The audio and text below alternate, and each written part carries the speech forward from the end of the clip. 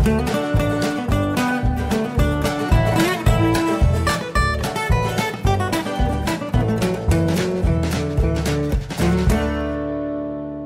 und herzlich willkommen zu Jörn Schars feinem Podcast Episode, Achtung, 400. Großartig. 400 Mal ist es mir gelungen, diesen Podcast zu veröffentlichen. Es gab Höhen, es gab Tiefen und es gab lange Pausen zum Teil. Aber ihr seid trotzdem immer noch dabei. Und das erstaunt mich mitunter, aber ich finde es auch äh, sehr, sehr schön.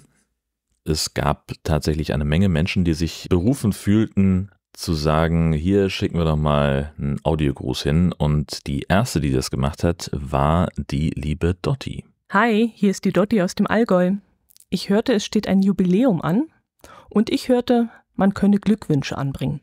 Und das möchte ich hiermit ganz kurz und schmerzlos auch tun. Und dir weiterhin viel Spaß bei all deinen Podcast-Projekten wünschen, vor allem aus gegebenem Anlass natürlich beim JSFP. Und, wie soll es auch anders sein, bei unserem gemeinsamen Projekt, dem Nord-Süd-Gefälle. So viel Zeit muss ja schließlich sein. Ich stoße gleich einmal mit einem schönen Glas Wein auf dich an, mit Ausblick auf hoffentlich weiteren 400 unterhaltsamen Episoden. Ja, und sonst?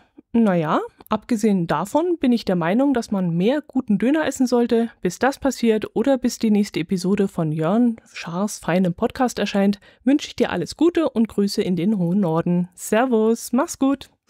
Ach schön. Vielen Dank und äh, wir machen auch direkt weiter mit den Audiodidakten. Hallo, hier ist der Marius. Huiuiui, 400. Da hätte jetzt eine Tröte kommen sollen. Moment, ein Versuch noch.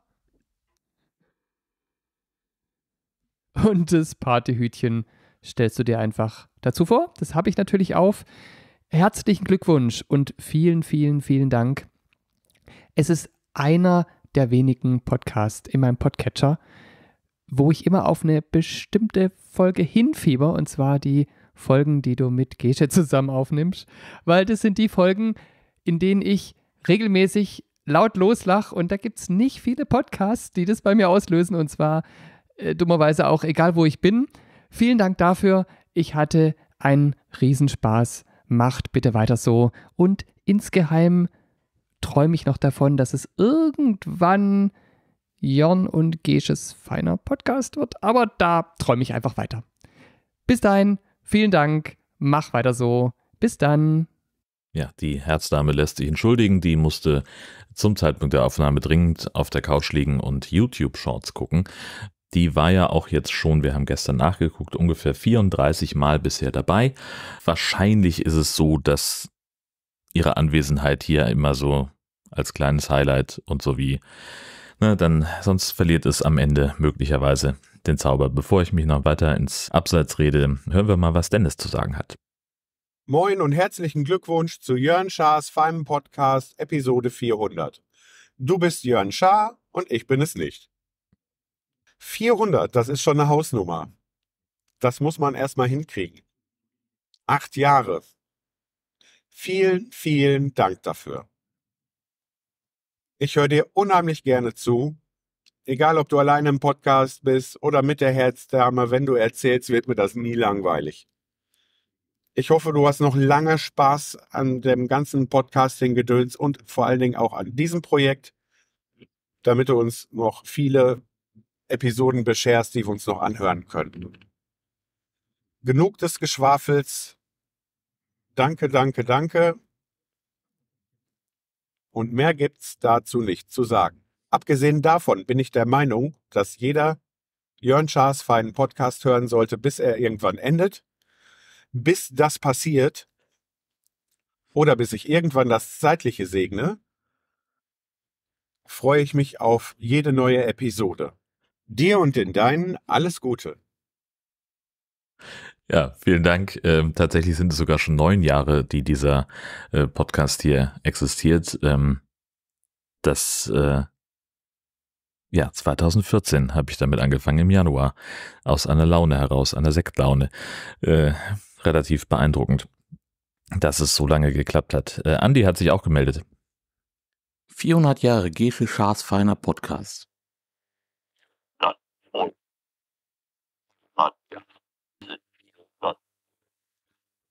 Mist, ja, 400 Jahre wäre auch ein bisschen Wahnsinn. Sorry, habe ich hier mein Fehler. Schneiden wir nachher raus. Okay, nochmal auf Anfang. 400 Folgen, Gesche Schaas feiner Podcast. Was? Wie, wie bitte?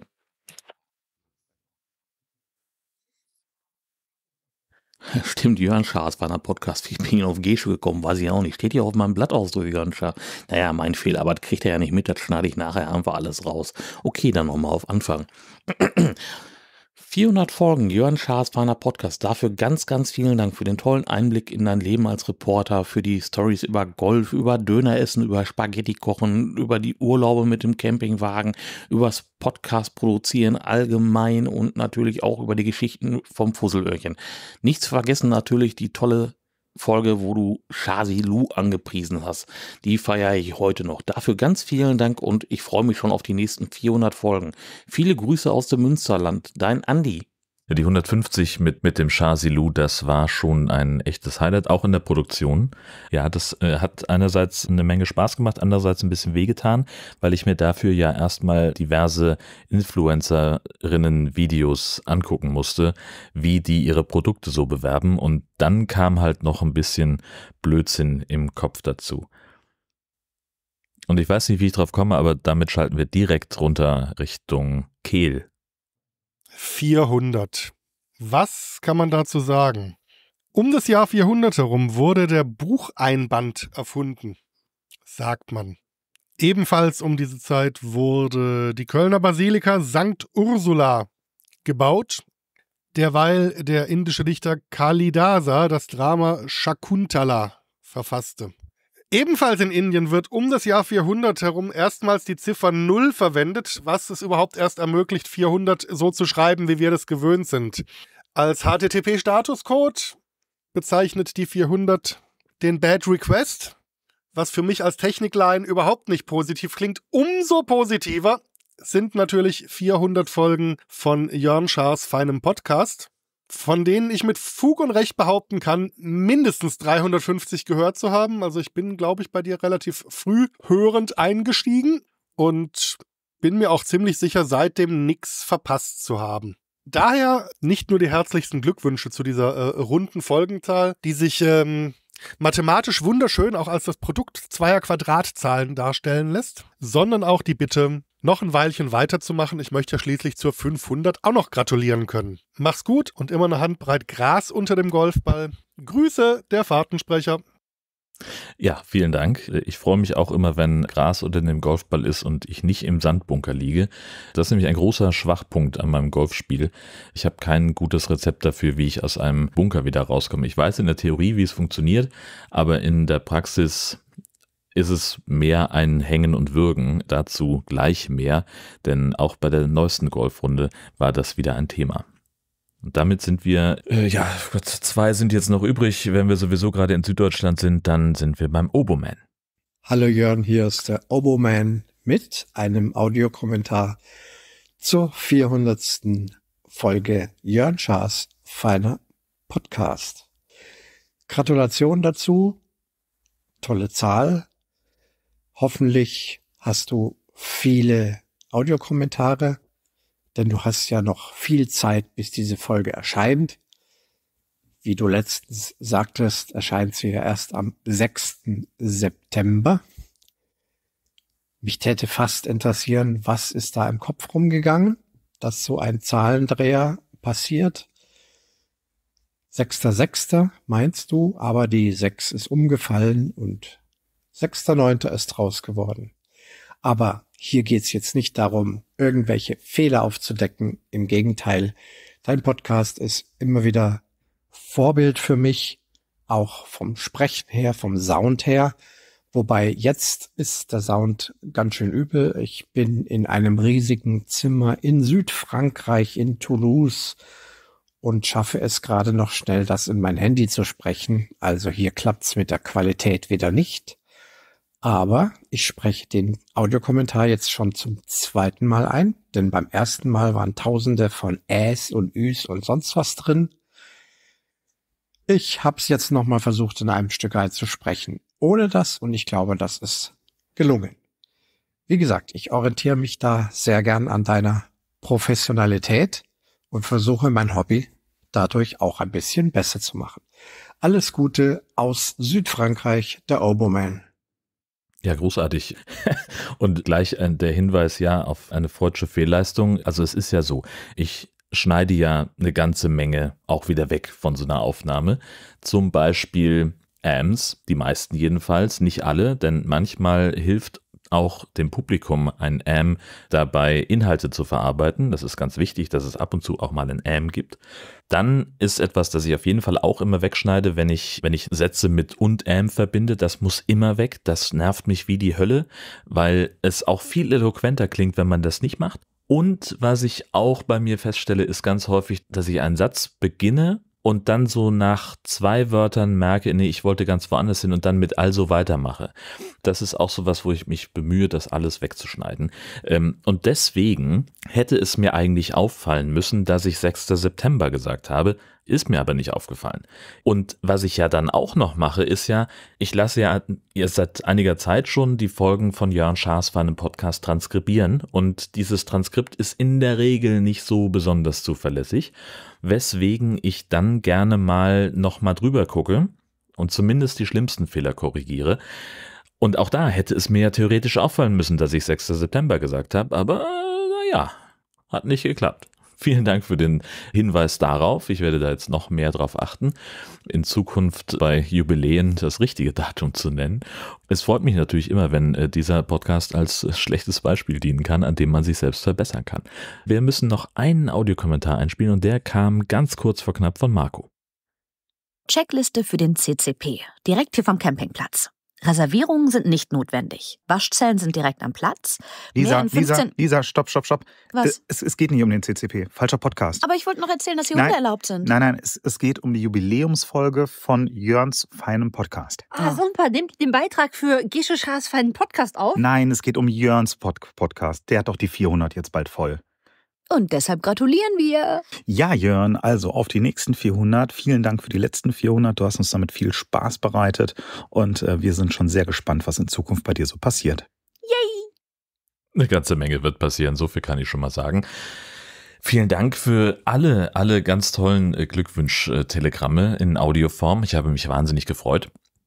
Ich kann das nicht immer so zeigen. Umso besser war es, dass ihr das alle mithören konntet, was mir hier aus dem Publikum so gewünscht wurde. Und eine Sache muss ich noch machen, denn es kam auch noch Post hinzu, und zwar von Stefan, der beim Aufräumen in seinem Elternhaus einen hölzernen Flaschenöffner in Haiform gefunden hat und dabei an mich denken musste. Und weil sonst niemand Verwendung dafür hatte, liegt dieses Ding jetzt bei mir rum. Und es ist nicht nur großartig, weil der grundsätzlich meinen Geschmack trifft, Haie, äh, sondern weil der auch Content liefert für gleich zwei Podcasts, nämlich für diesen und den High Alarm Podcast, in dem wir das auch zelebrieren werden, dieses Gerät. Und dann zu dem Teil, was in meinem Leben noch passieren wird. Es steht ja schon fest, dass wir umziehen werden an die Schlei. Und da gibt's einen schönen Nebeneffekt, denn da ganz in der Nähe kommen Bennys Eltern von weg. Und die besucht er regelmäßig. Und möglicherweise könnte das bedeuten, dass wir den High Alarm häufiger in Präsenz aufzeichnen. Dabei trinken wir meistens Bier und zack, haben wir eine echte Verwendung für den haiförmigen Flaschenöffner, der dann nicht einfach bei den anderen Hai-Devotionalien im Regal liegt. Wunderbar. Gut, aber jetzt machen wir keine rein Jubiläumsfolge von Jörn Schaas von dem Podcast, sondern wir haben ja noch ein bisschen was nachzuholen, denn äh, meine kleine Reise nach Hessen aus der 399, die war ja noch nicht beendet. Ich bin ja erst am Montag, den 1. Mai zurückgefahren und da habe ich dann auf dem Rückweg noch Lars und Ute besucht, denn wir hatten einen kleinen Deal abzuwickeln. Ich hatte noch den Transportkoffer vom Zoom H6, den ich nicht brauchte, den Lars aber gerne gehabt hätte. Habe ich gesagt, prima, ich bin grob in der Nähe und mache äh, einen kurzen Einkehrschwung. Wir haben noch Döner gegessen, es war richtig schön. Und eigentlich hatte ich mir vorgestellt, dass ich so nach anderthalb Stunden, spätestens zwei weiterfahre und am Ende war es dann irgendwie fast drei Stunden, die ich da war, weil es einfach so schön war und wir uns so, so toll unterhalten haben und es einfach so nett mit den beiden. Und wir haben uns ja auch schon ewig nicht mehr äh, in echt gesehen und deswegen war das auch gut und richtig so und es war eine schöne Pause auf dieser kleinen Fahrt, die ich da unternommen habe. Wie immer ähm, bin ich äh, relativ gemächlich unterwegs. Mein Reisetempo ist so ungefähr 120 oder auch mal 130. Ich mache auch viele Pausen, weil ich einfach gerne mir die Füße vertrete, Ne? Und gerade wenn es so um die Feiertage rum ist, ist einfach viel Stau. Und wenn es dann ein bisschen voller wird auf der Bahn, dann fahre ich nochmal raus, gehe nochmal irgendwo auf Toilette, weil könnte ja sein, dass man fünf Kilometer weiter einfach äh, zum Stillstand kommt und dann sitzt man nämlich da und kann nirgendwo hin bei einem dieser, dieser technischen Halte habe ich jemanden gesehen, das war relativ beeindruckend. Ich musste tatsächlich auch tanken und habe dann also getankt, bezahlt und bin dann so von der Zapfsäule weg und habe dann so ein, so ein bisschen äh, da an der Seite mein Auto abgestellt, weil ich eben noch auf Toilette wollte.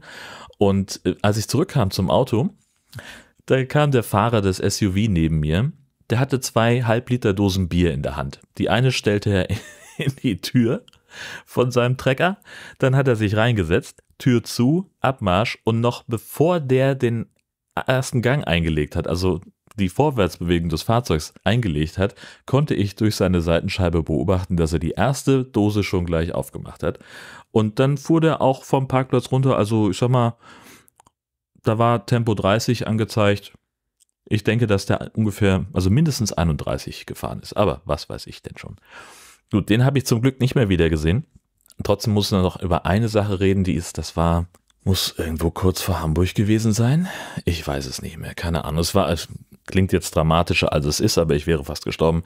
Nein, falsch. Es ist völlig übertrieben. Ähm, es war so eine klassische Situation, volle Autobahn, ein relativ großer Pulk von Autos. Ich war auf der linken Spur wie das immer so ist in solchen Pulks, dann ne, vorne fährt einer langsamer, der nächste muss ein bisschen bremsen, der nächste ein bisschen mehr und so weiter und so weiter. Und ich sah also vor mir die Bremslichter angehen. Ich hatte äh, zum Glück äh, reichlich Sicherheitsabstand, habe dann gebremst und ich merkte, oh oh, das wird aber doch ein bisschen doller. Äh, die kommen hier fast zum Halten und habe also einen kurzen Augenblick genutzt, um den Warnblinker anzumachen und bin dann möglichst weit nach links gefahren Richtung Mittelleitplanke, damit der hinter mir A sieht, was vor mir passiert und dass er vor allen Dingen noch irgendwie reagieren kann. Und der wurde immer größer im, im Rückspiegel und bis zu einem Punkt, wo ich dann schon die Zähne zusammengebissen habe und den Kopf in die Kopfstütze drückte. Und der hat aber fantastisch reagiert. Ich hörte nur das ABS von ihm, der verschwand dann so ein bisschen nach rechts aus dem Bild. Also es war, es war knapp. Er hat mich aber nicht erwischt.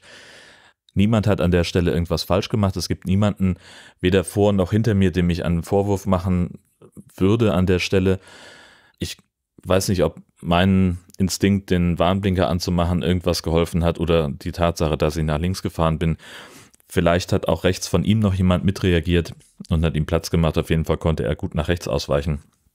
Er war dann offensichtlich auch nicht ganz so durch wie ich in nach dem Moment. Also ich musste dann doch erstmal auf den Parkplatz fahren und kurz mal mir die Füße vertreten.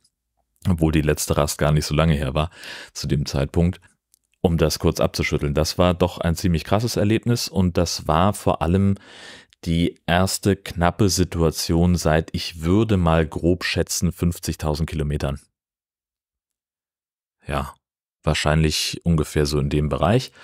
Ähm, ich erinnere mich noch, als ich in Kiel gewohnt habe, habe ich ja mal eine Zeit lang diesen Flughafen-Shuttle gefahren, wo mein Job es war, äh, zwischen Hamburg und Kiel hin und her zu fahren. Und da hatte ich mal eine ähnlich knappe, brenzliche Situationen, wo jemand meinte, mit Tempo 82 von der Beschleunigungsspur ganz nach links rüber zu ziehen, weil er am LKW vorbei wollte und ich von hinten mit einem voll beladenen Sprinter mit 140 angeflogen kam. Das war wahrscheinlich vergleichbar, zumindest von meinem Gesamtzustand danach, aber seitdem habe ich halt nichts mehr in der Form erlebt.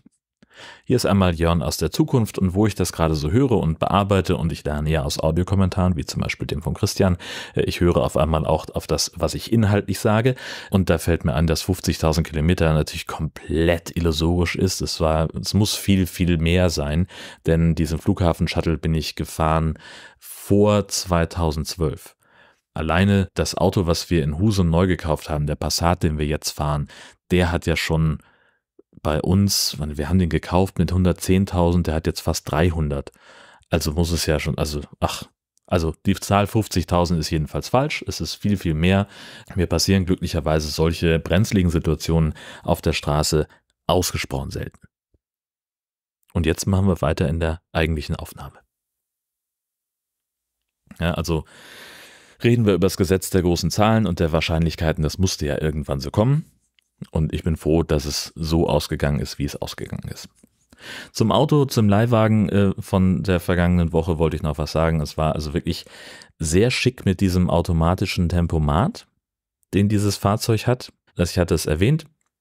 Nicht nur, dass der den Abstand zum, äh, zum vorderen Auto hält und dann entsprechend auch bis zum Stand runterbremst, sondern der erkennt auch Geschwindigkeitsbegrenzung, der erkennt, wann die aufhören und wenn das Navi an ist, dann bremst der adäquat ab vor Kreisverkehren, vor Kreuzungen und auch vor scharfen Kurven. Das ist total großartig und sowas möchte ich für unser nächstes Auto. Zusammen mit dem Automatikgetriebe ist das perfekt, wenn man mit dem Wohnwagen unterwegs ist. Geiler geht's überhaupt nicht. Ist toll. Also das war wirklich etwas, an dem ich eine Menge Spaß hatte während der Fahrt. Er hat so ein paar Sachen, hat er dann auch mal falsch erkannt, gerade in Baustellen hat er manchmal ein bisschen Probleme gehabt. Und wenn in der Abfahrt eine Geschwindigkeitsbegrenzung an war und dieses Schild ein bisschen zu dicht an unserer Spur sozusagen dran war, dann hat er gerne mal gedacht, oh, hier muss ich auf 60 bremsen. Das ist natürlich nicht so perfekt, aber kann man ja alles überschreiben, hatte ich auch, glaube ich, erwähnt. Insgesamt bin ich ein großer Fan von diesem Ding. Sehr, sehr schön. Achso, noch etwas, das während dem vergangenen Wochenende passiert ist. Ich hatte ja mein Notebook dabei, unter anderem auch, um die Folge 399 aufzunehmen und zu veröffentlichen. Und was ist danach passiert? Ich hatte das, das Notebook aufgemacht und es stand unten rechts, ja, Ihr Windows 11 Update ist verfügbar. Und ich kannte das vorher schon, ich habe immer auf Ablehnen gedrückt, nur gab es diesmal keinen Ablehnen-Button. Und dann gab es irgendwann, als ich fertig war, das Notebook ausschalten wollte, nur noch die Option aktualisieren und neu starten oder aktualisieren und runterfahren. Jetzt habe ich also ein Zwangsupdate auf Windows 11 an meinem Notebook, das ich auch seitdem nicht mehr angefasst habe, weil es, glaube ich, jetzt verflucht ist.